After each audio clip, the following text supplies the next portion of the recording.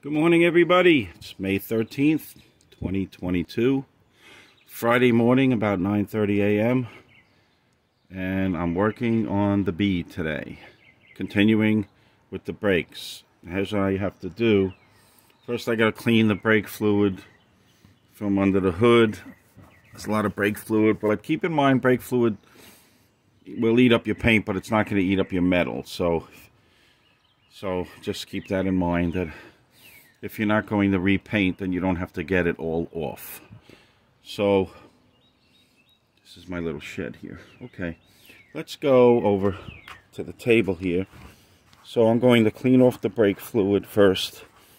Then I have to go to hardware store because I'm missing some hardware, you know, bits and pieces that previous owners or mechanics didn't put back, like a bolt here, a lock washer there. Um, so here's once again, here's the old master cylinder. I have to take off this piece, banjo bolt and fitting, put it at the same angle on the new one in this hole. But there's supposedly there's a valve in here that we have to transfer from the old one to the new one. And there's two lock washers in here. That's just the yellow cap that was in this hole. Don't worry about that two lock wash, uh, two copper washers that go on either side. One goes in here and one goes there. Okay, and you tighten that in prior to putting it in the vehicle, and you'll be all set. Here is my. I'm doing a quick bench bleeding. Bought this kit. Uh, I don't know how good it's going to work, but looks like it has all the different sizes. Just to get most of the air out of the master. I've never bench bled a master cylinder before. Should be good. I got all my rags, which are my extra large v-neck undershirts cut in two. Okay, and uh, of course I got to clean a lot, a lot of brake fluid up. Um, for the uh, clutch and brake master cylinder um, clevis pins, I bought uh, some new cotter pins because my old cotter pins were old. So here's a nice kit, costs like $8. And uh, all different sizes so you could get the right size. Here's another rag in case I need it. Uh, I'm also doing the two front brake lines for the MGB. The uh, rubber hoses. Because I don't know if the old ones are good and you can't tell. You really can't tell. Because you can't see the insides of them. And here's all the fittings to do the brake the brake lines. For some reason they had uh, two different size copper washers. I'm not sure which ones I'm going to use, but you only need one per side. So I'm either going to use the two small ones or the two big ones, depending on what's on the car. Internal tooth lock washers. This is a bracket of some sort, two brackets, and, and the two uh, the two new nuts. Uh, so this is all the hardware. I have my weed whacker out also. This is another project. I'm just changing the battery in that. There's the old one. It's coming in the mail this morning. Okay, so let's quickly go to the car. I don't know how the weather's going to treat me today. Today. Here's what everything's looking like. Still taken apart. I'm just going to wipe up some of this brake fluid so I could determine, you know, what nuts and bolts are, are missing and uh, put most of them back. Here's a reminder of all my parts up front here. They're in order, believe it or not. I know where they go. So that's all. I'm not going to record everything because I do have a lot of work to do. And the, the last and final um, step will be the, uh, what's it called? The bleeding of the brakes, which I don't know if I'm going to get to that today, depending on the weather. We have some showers this afternoon. Okay, let's get to it. So I cleaned it a little bit, and I cleaned out those two front holes. Those two little front holes that that box screws into, okay? Now I cleaned out the holes. They look like 1032s. They could be 1024s. They could be metric. So what I did was I gathered an assortment of different screws, 1032s, 1024s, some other ones here. I'm just going to lightly thread them in those two front holes.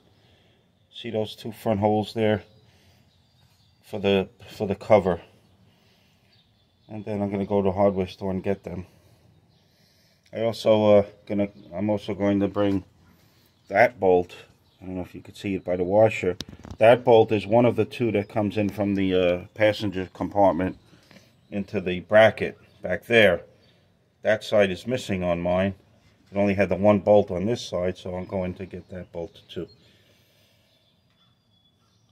So this way I'll have uh, more hardware in here. Three, three or four bolts instead of just uh, the one that was holding it.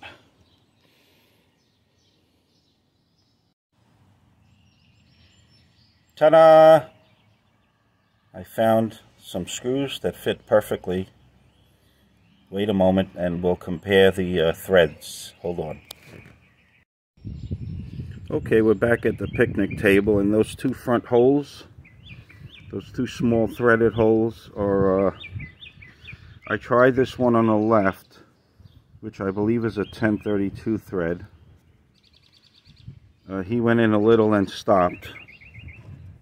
This just happens to have a tapered end. Um, but the two on the right fit perfectly. And I believe these are 1024s. Now, I'm not 100% sure. They could be metric, but um, you could see the difference in the thread. 1032 is a fine thread and 1024 is a more coarse thread. So whatever um, weld nuts uh, MG used, those two front holes uh, seem to work with this kind of coarse thread not the not the finer thread. I don't know if that helps you. Hopefully it does. I mean there was nothing in those holes. You couldn't even see the holes. They had so much crud in them. So uh, but these fit perfect. I mean I screwed them all the way down like about here or so. So they're, they're definitely the right thread. I just got lucky and found these in my toolbox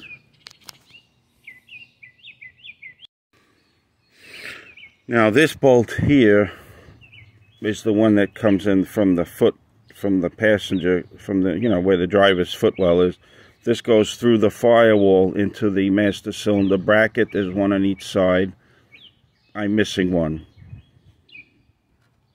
So I'm going to head to the hardware store and get um, this bolt. So I could have two. I tested this on the right side and it worked. So the left side and the right side use the same thread. Okay, this is an example of the wrong type of screw to use to hold this uh, cover in, okay? Those weld, those weld nuts, those threads down there are um, machine threads. This is either, this is a sheet metal screw, okay? You don't use this type of thread for your battery box. Mine happen to have one or two of these in them, so this car was pretty well cared for, but um, whoever did this, pulled this cover off, lost all the original hardware and, and threw these in. These are the wrong type of threads. You need, um, I believe they're 1024 or the uh, metric equivalent. They're definitely a number 10. Um, they're not a 1032 because mine are, these are coarse threads. Uh, so the four bolts in the uh, cover there are probably 1024s or the metric equivalent. And the two that come through the firewall are, uh, as you could see, they appear to be quarter inch, 0.250. So these could, these I'm going to guess could be quarter 20s or maybe quarter 24s. It's a pretty fine thread. But I'm going to let my hardware store match them up and I don't have to worry about it. I really measured the diameter just to make sure I get the right size uh, washers. Okay, bye. Okay, back from the hardware store. I went with hex bolts here instead of Phillips. And uh, these are the ones that come through the firewall. So we're all set. And I got propane while I was there too, so uh, good for about a year with the barbecue. That's good. And batteries for my flashlights. I have rechargeable flashlights, but not all of them are rechargeable. Okay, so here's what it looks like. Those are the three. Now, there's supposed to be one here, but somebody sheared off the head, so I'm going to leave that one out for now. Three is plenty, especially because it was only held in with one. So three in this, this these spots would be uh, more than sufficient to support this.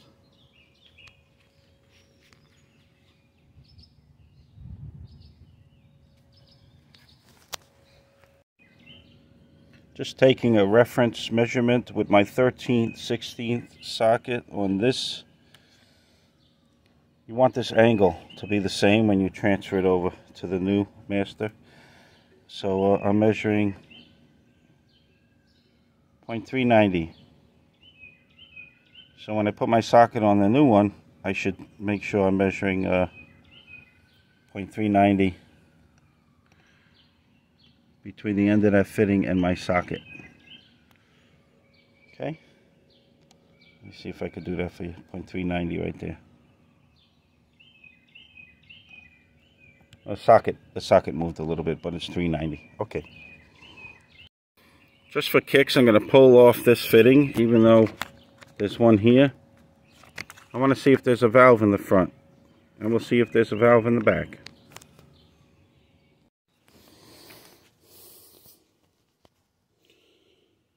Okay, I need a little more oomph, so uh, a little more torque. So I just clamped the old uh, master into the vise. We're in MG right now. MG. No, not Morris garages, but my garage. So we're in my garage right now. We're going to pull these off and see what's inside. This way I could come down this with a hammer if I need to, or all my weight to get that fitting off. Okay, one slight tap with the hammer. Let's see what's inside here.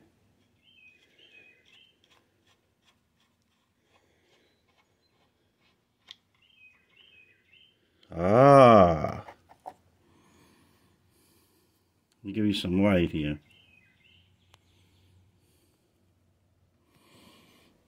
There is something in there.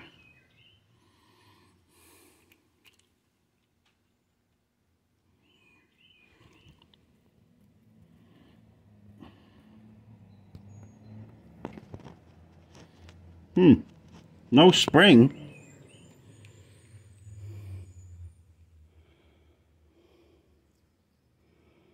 But this little uh, valve was in there. Like so.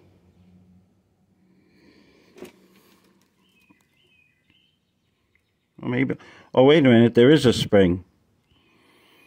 There is a spring.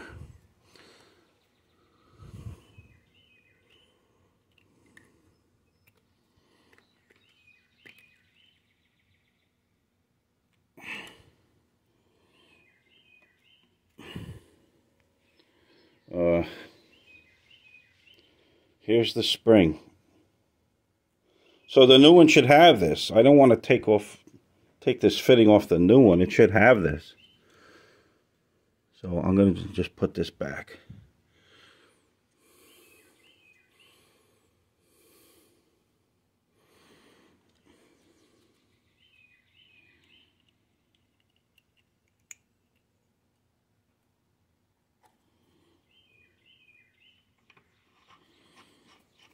Okay, this is the old one. Just going back on that fitting. Okay, I'm going to take this off, see what's under here.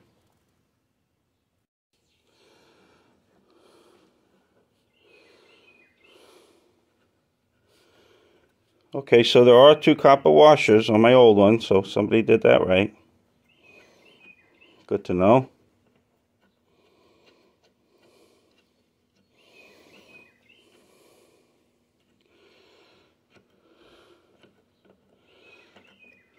Oh, look at that.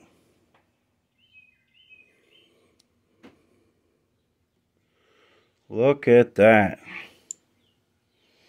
There's a lot of metal shavings here. Let me move, put this fitting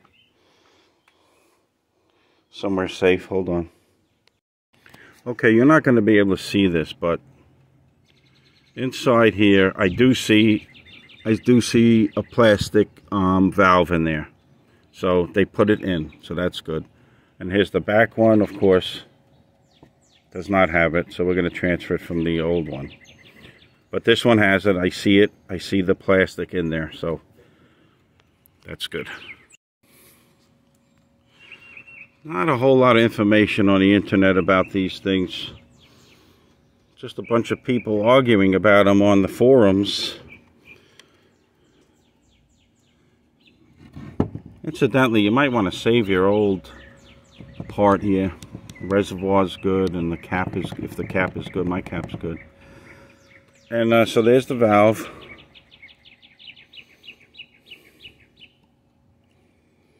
Let's transfer it. Place it there. Got to get the spring out.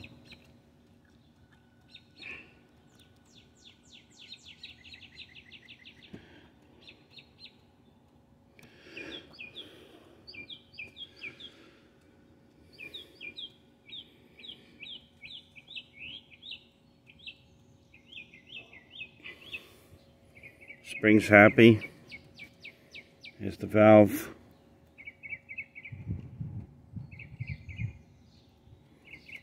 Okay. So I'm just gonna put going to put the new copper washers on here and tighten it down at the proper angle. I'm not gonna record that. You get the idea. Okay, bye. Okay, so I was just in my garage and uh, everything's on the two copper washers. See? One on the inside, one on the outside. Put my socket on. And there's my 390. So I know that's at the perfect angle. It's you know, it's a crude way of measuring it, but it's fine. On my 390. This is just my uh, 13 16 socket. Um, this is where I took the initial measurement just to just to get that angle right. There you go. Doesn't have to be perfect. As long as you're pretty close, it'll be okay. Because this, you know, the line has some play in it, but try to get as close as you can. So I'm going to put this aside now because eventually this will have, I'm going to put it back in the vise and, and, and bench bleed it. Okay, moving right along.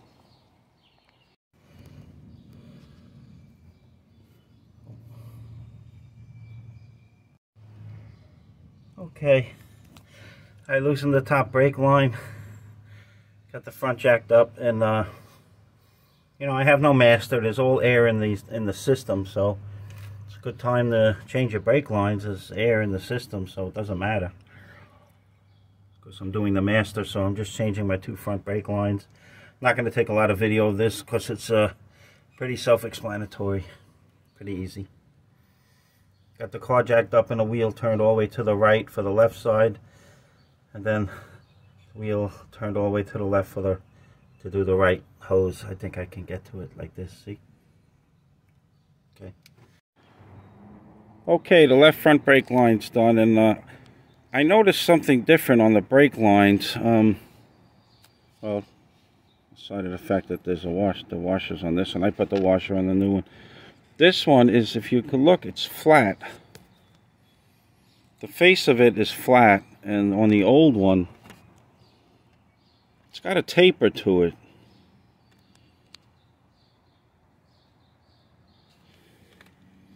So maybe the new one is a better uh, improved design uh, than the old uh, tapered one.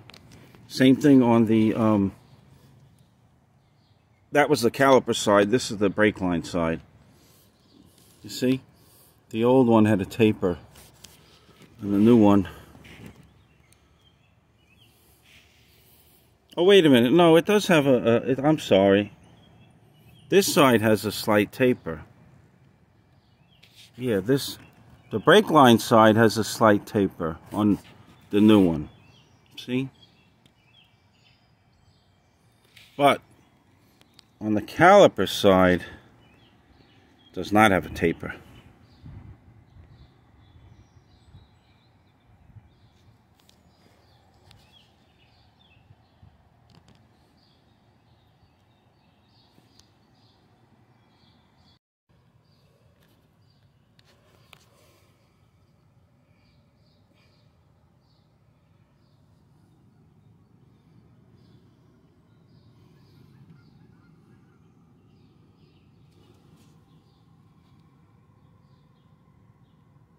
So there's the uh, passenger side.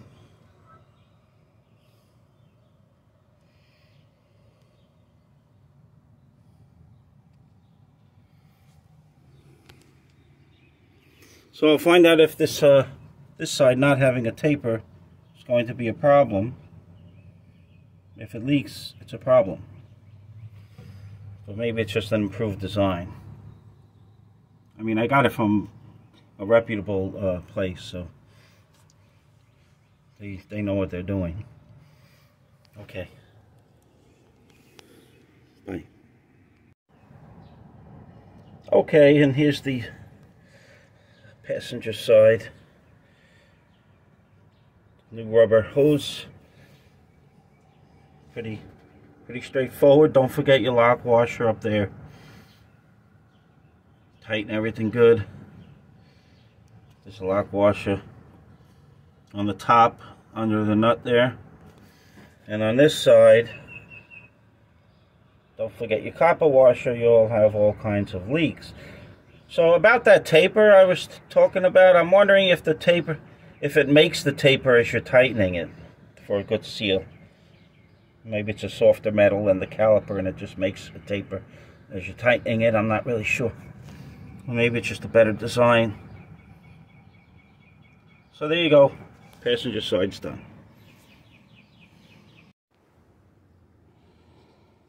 Okay, getting ready to bleed. Incidentally, if you get the Dorman kit, these, I used the 3 eighths 24. 3 eighths by 24 threads per inch. Those little guys. Dot 3 fluid.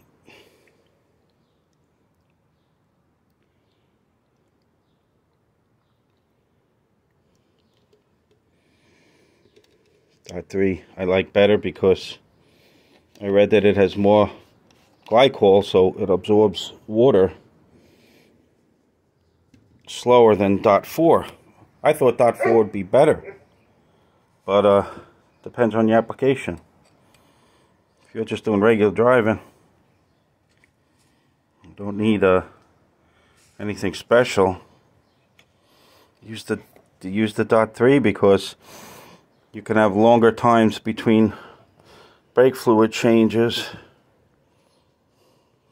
because uh, it absorbs water at a lesser rate than dot 4 because dot 4 has less glycol in it. That's what I read anyway. I was going to get dot 4 but dot 3 it is. Okay, so basically I'm just going to work this back and forth until I see no more bubbles in these tubes. I only have two hands so I can't record this, but you just work this back and forth slowly. Don't rush it. Don't let the tubes come out of the uh, brake fluid. Don't let them come out. Make sure they're submerged. Okay, bye. Okay, um,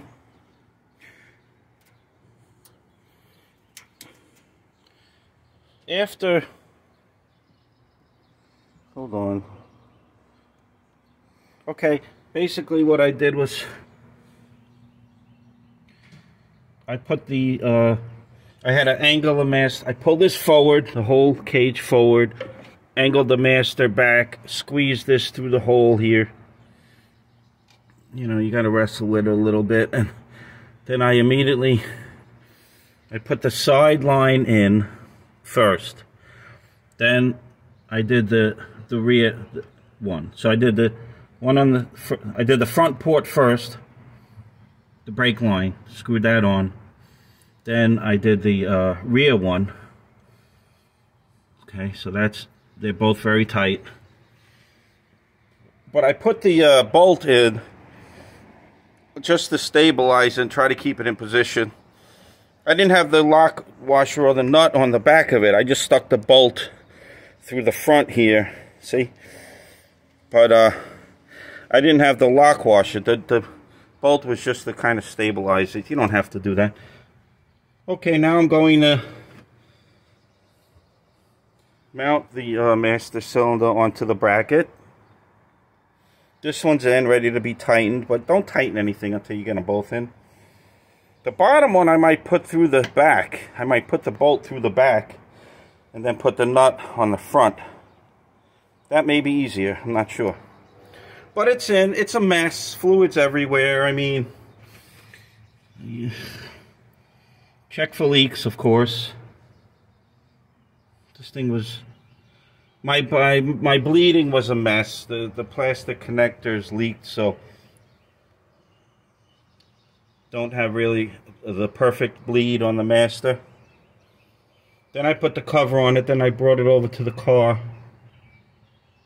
And uh, it's going to drip out, but you have plenty of time to get your lines on before the master gets too low. So don't sweat it. I, I put I had the cover on. I filled it all the way. I had the cover on and um, you can get these two lines in plenty of time before the master runs low okay where you're going to get air in it so don't worry about that and if you didn't bleed it then that's fine too just then you could take your time I guess because you know there's air in it already and uh, don't cross thread these fittings make sure you're going in at a right angle do not mess around with them. Push the push the threaded part all the way against the flared part. I find that to be easy when you push the threaded part because otherwise it gets hung up on the pipe back here and you can't turn it. You think it's tight and then it gets loose because it's hung up on the pipe which is not a perfect circle. It's elliptical in some places. Okay we move on. All right, I have this telescopic mag telescopic uh, magnet. So I'm going to try to put this put this through uh, inside the car. I'm going to go inside the car. And there may be enough room to push this through the hole, through the back of the master. Okay, that should be pretty easy. Alright, I didn't go through the car because the magnet's going to attract to everything. I was going to try to go through this port. But here's what I did. I put the bolt in a half inch uh, socket and then I have a little 3 8 extension. So I should be able to go through the side hole like this. Okay. Turn this in. Push it through the hole. Like that. So we'll see if that works. I may have to tape this in there. We'll see. Okay, I put a small piece of masking tape. I could go through the car with a 3 8 extension. You know, like that right there. And just uh, get this right, right through the uh, mounting hole, the bottom hole of the master cylinder. Because that's a lot easier than trying to get the lock washer and the nut on the other side. Okay, everybody. She's in. Got a bottom nut with the lock with the bolt coming in from the engine compartment.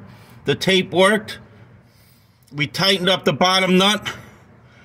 And then we couldn't get the half inch socket off the head of the bolt because while we were tightening it, the half inch socket got wedged against the body of the master cylinder. We couldn't get out, so I told my helper to just back it out a little bit. Okay, and then I just used the ratchet and you, you use the speed method where you you turn the nut so fast that eventually the head on the other side catches and then you could tighten it. Okay, and then we just tighten the top here, half inch. You could get a open end wrench on this lock washer and nut. So basically the way I did it is the bolt coming through the top from the front of the car, flat and, a, and the lock washer and the nut there. Then on the bottom, the opposite. Because it's easier to get lock washer and nut while you're in the engine compartment than trying to get that when you're in the car. That's a little bit difficult, I think. Okay? Alright. So all the brake lines are hooked up. There's no more fluid anywhere. So now is the easy part. Bolt down the bracket that holds these two masters. Bolt that down. Then then uh, secure the bottom pivot point with the wait a minute. No the bracket has to be bolted down first because you can't get to this one. Yeah so you bolt down that bottom bracket two bolts from inside the car and then uh, I don't know two two here and two on this side I think. Yeah. And then uh, then once you bolt the bracket that has the master cylinders in it once you bolt that down, then push this pivot bolt back all the way in and there's a big lock washer and nut. That's that one back here. That one, big lock washer and nut goes on there. You, so after this bracket's on, you tighten the, uh, you push this through. See, you push it through and you tighten it. Then you put your clevis pins in and your, um, what are they called? Cotter pins.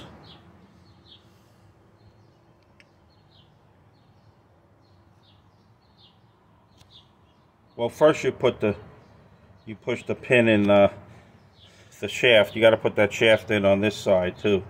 I hope I'm going to be able to get that on. Uh-oh, I tightened everything. Shoot. Yeah, I should be able to get that on. Yeah, I should be able to get that on get that on, and then you put your clevis pins and your cotter pins. Okay. Talk to you soon. Bye.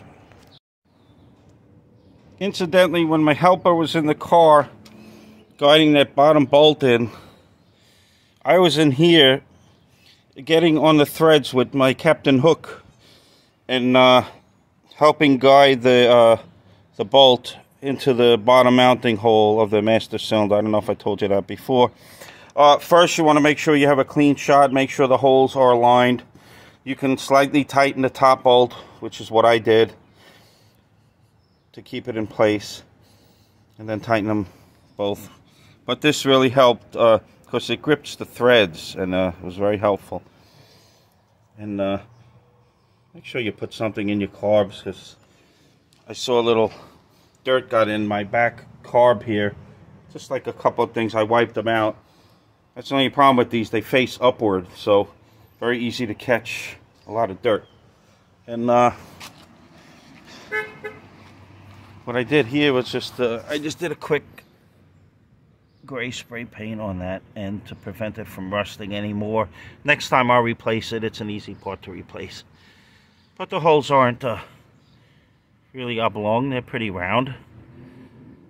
So it's got a lot of life left in it. Okay.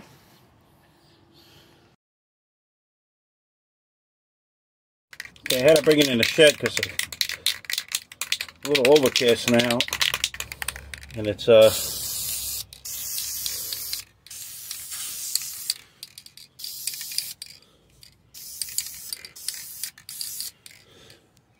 just give this a little protective coat.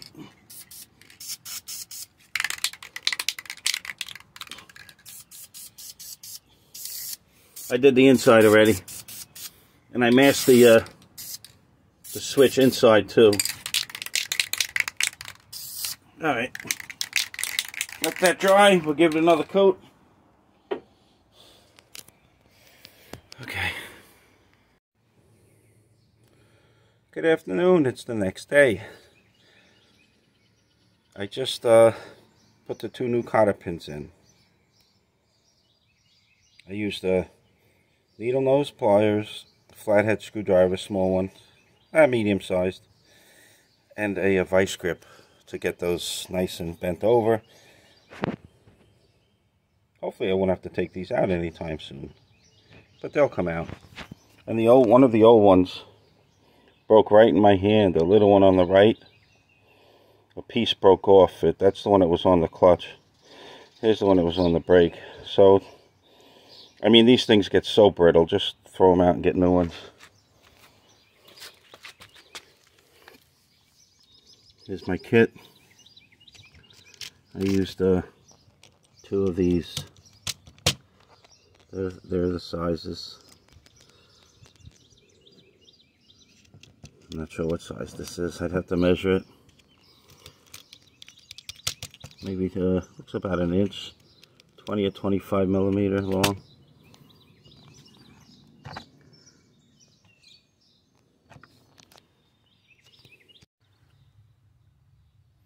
Okay, what I did was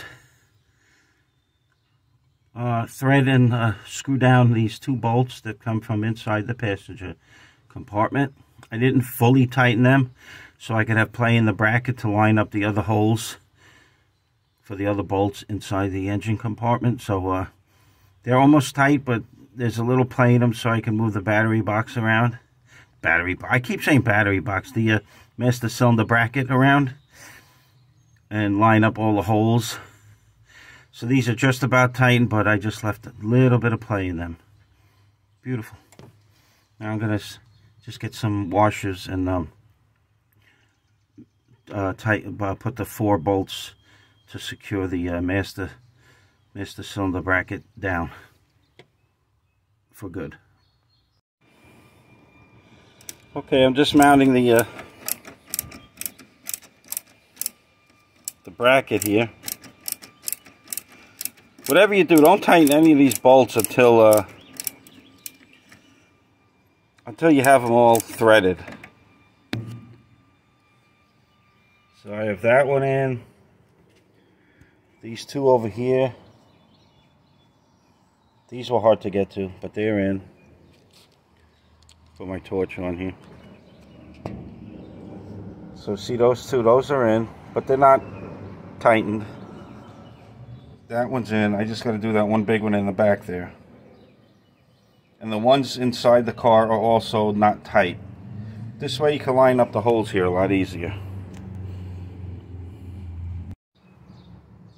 Also, I, I gotta say it's amazing that um, there's all different size heads here. I, I got half inch heads over here. Half inch maybe 7 sixteenths. No, maybe 10 millimeters, 11 millimeters. All different sizes. 11 millimeters, half inch, and 7 sixteenths. 11 millimeters inside the car. All different sizes, just about. Only a few of them are the same, but it's okay. This big one in the back is easy to start because you can get your hands back here and start it. Then you can get your ratchet on it. It's already threading nicely. Look at that, beautiful. Okay, so before I tighten these, the ones under the hood, I'm gonna tighten, bring the, I'm gonna pull the box that way towards the pass, towards the uh, footwell by tightening the two bolts inside the car first, and then I'm going to tighten these four down and then that's it for the bracket. It's done. Okay, these two are tightened. Those are 11 millimeters. These little quarter inch drive here. And just a little trick. If you want to get the start the screw, just just use your hand, put the socket on this bolt and turn it down until it gets a little tight. Otherwise, you're just going to be pissing in the wind trying to use a ratchet because because of the friction in the in the ratcheting mechanism. So you're just going to be turning the bolt like this, turning it, tightening, tight, tightening it, loosening, tightening it, loosening, tightening. You're not going to get anywhere. So just get the bolt down manually with the socket first, and then you could uh, use the ratchet.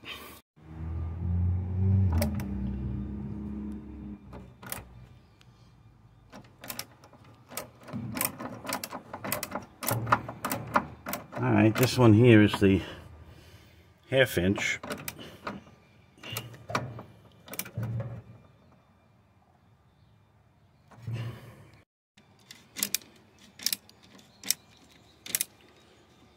This one here is an 11 millimeter.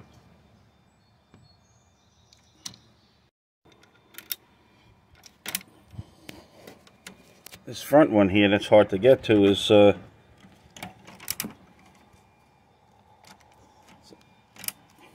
Eleven millimeter.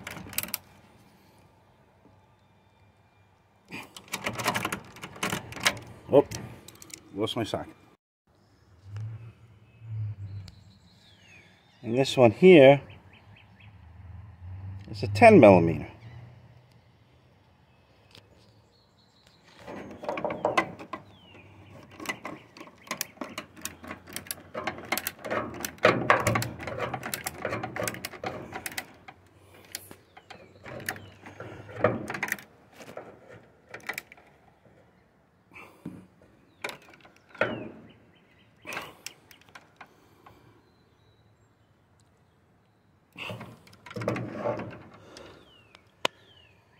Okay, so the two front ones were 11 millimeters on my car, which that doesn't mean anything with regard to your car. This one here with the nice shiny washer was a 10 millimeter. And then you have this big mama one back there. That's a half inch. So I don't know if that helps you. Did I do the two rear ones? I don't even know if there are two rear ones. Maybe there are. But four is plenty, plus the two against the firewall. This thing is not going anywhere. So all that's left to do is to put the uh, cover on, which has the brake light. And then bleed the brakes. But I may leave the bleeding. I'm going to leave the bleeding out because there's plenty of bleeding videos. I'm just following the Haynes procedure, which means it says remove this connector rotate your uh, back the switch out three turns. And uh, the Haynes manual says to do nearest to furthest. So uh, left front right front and then uh, whatever's the next nearest in the rear and then the furthest. So that's the way I'm going to bleed them but I'm going to leave that out of this video because this video is getting long but that would be the final step. And when you're bleeding, check all your connections for leaks. Because if you have a leak, you're going to have to take this whole thing apart again. But it's better than crashing and burning. One thing I forgot to uh, mention is the, uh, hold on. I forgot to mention, uh, I forgot to put the lock washer in the flat, which is right here. So you, so now that you got that bottom crazy bolt in, you can put this uh, lock washer and flat on here. I just pushed the bolt through. I never took it all the way out. Incidentally, all the bolts I have here that mount this battery box have a split lock and a flat on them. Split lock and flat. So I basically uh, taped, I used masking tape and taped these bolts inside my sockets. Masking tape. Then once you get it started, just rip the masking tape off. The masking tape, you tape the bolt inside the socket with the flat, with the lock washer and the flat washer, and then you thread it first. Then you, once it's threaded, you take off the masking tape and just button them down. So that's the way I did it. Or maybe, I don't know, magnetic's a pain in the neck because it, uh, everything's magnetic in here, so you'll be fighting with it. So once again, I'm just going to tighten these down on that bottom pivot point. Once again, another trick I use, I'm going to put this nut back on the bottom pivot uh, shaft there.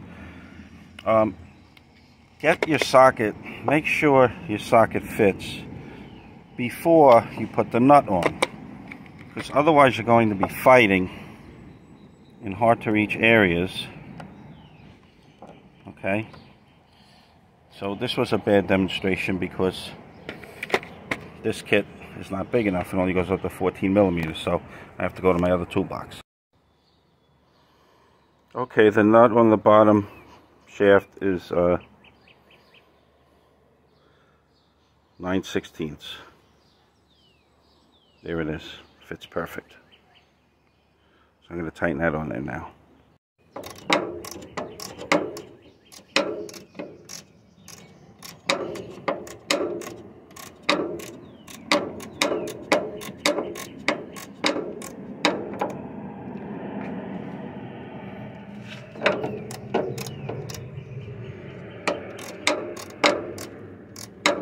Okay, I just, I'm to shut the phone off here so I can do this because I may have to hold the head on the other side if it's spinning.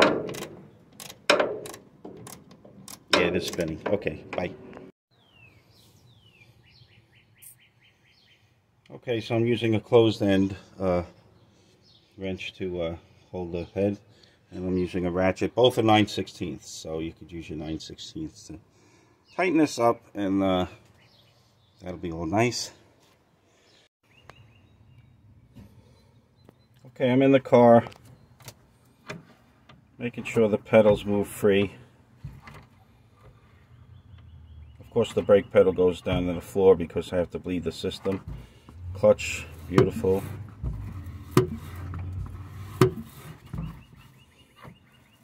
So, everything's moving free because I also oiled the pivot points. You don't, you don't want to keep doing this and make your cylinder run out of uh, brake fluid either. So I'm going to go check that now. And then don't forget to put your little access cover back on in, inside the car. That's this rubber cover with the nice molded in handle.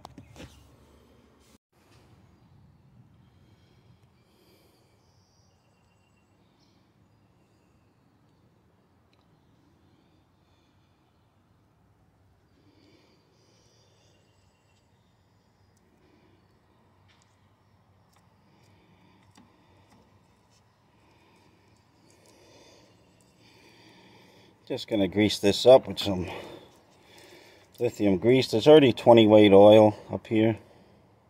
I put some oil on it and I put a, some I put some oil on the bottom shaft as well.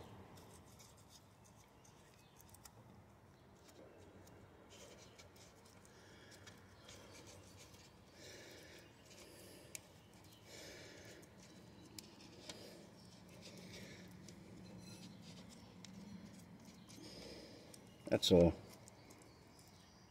So keep it nice, nice and smooth, prevent it from rusting.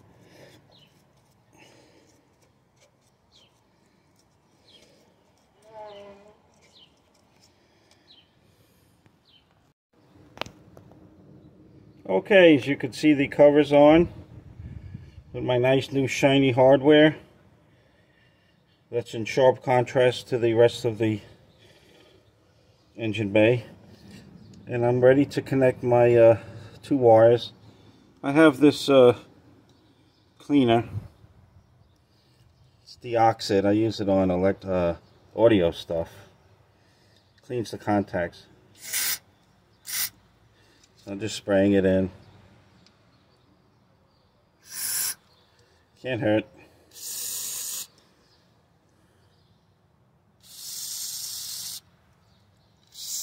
That's it. Okay, now, so the only thing I didn't do, which is very important, but it's not part of this video because I don't have a helper right now, is uh, bleeding the brakes. Okay. And uh, that's about it. Oh, and, and putting my air cleaners back on. So, uh, plenty of videos on bleeding the brakes on YouTube. So, But like I said, I'm using the Haynes procedure. It's pretty straightforward unless uh, sometimes this causes a problem. but uh, you can get around that. So that's it. The cover's on. Oh, I put in the uh, the cover on the inside. Don't forget to put your rubber cover on the inside. And make sure you put it on good because uh, it really pushes in there and, it's in tight. If you don't put it on tight, it's going to fall off when you're driving or, or when somebody else is driving. And they, might startle them if you have this big rubber piece falling on your shins when you're driving. So that's that. Well, thank you everybody for watching this video. I hope uh, hope it was helpful. Um, can't wait to drive this once I bleed the bleed the brakes. Should be good. Got the new brake lines in the front, the rubber ones. I have more to do with the car, but it's getting safer and safer the more I uh, work on it. The motor runs great, so that's good. There's my new gulp valve, new old stock. So, that's it. Thank you for watching, everybody. Have a great week. Have a great weekend, and uh, if I don't talk to you, have a wonderful Memorial Day weekend next uh, next weekend. Okay. Bye bye. Happy motoring. Okay, I ended the video, but uh, just wanted to show you the two brake. Uh, those are your brake light lines. Now, I don't want to leave everyone hanging that I didn't do the uh, brake uh, bleed. But what I'll do is in a week or so, or less than a month, uh, my schedule is very busy uh, coming up. So what I'll do is uh, less than, hopefully less than a month, I'll comment if I had any issues with bleeding the brakes. So I'll I'll, I'll come back to the, the second video here and I'll comment. I'll let you know how the brake bled went and if I ran into any problems, if I had to change it up, never know. But uh, once again, this is a 72 MGB. And uh, if you have a similar setup here, I think they use this setup from 68 to 74, if I'm not mistaken. Mistaken. And that's that. Okay. Thanks again. Bye-bye.